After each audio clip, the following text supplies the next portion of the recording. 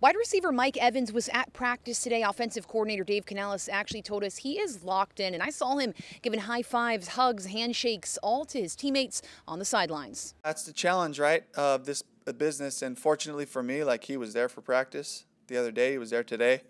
He ran fast and was locked in and asking questions, and that's all I can really, as far as my job is concerned, that's really all I can uh, base it on, you know. So hopefully we can get all that part resolved. So keep, you know, feeding him the ball. While Evans' contract is an off the field conversation, the Bucs are focused on week one against a Kirk Cousins led team with one of the best receivers in the league, Justin Jefferson. Ah, you got to know where he is at all times. So we got to make sure, you know, we take him out the game. What makes him so good is, uh, I mean, he does everything. You know, great routes, um, catches the ball well, and um, Kirk feeds him. So it's uh, he, he's just a great player. 30 takeaways is our goal every year, and um, you know it's great that I'm still able to play with like Carlton and Dean because those are the guys that I came in with. So we got years together, and so it's going to be an awesome year for all of us.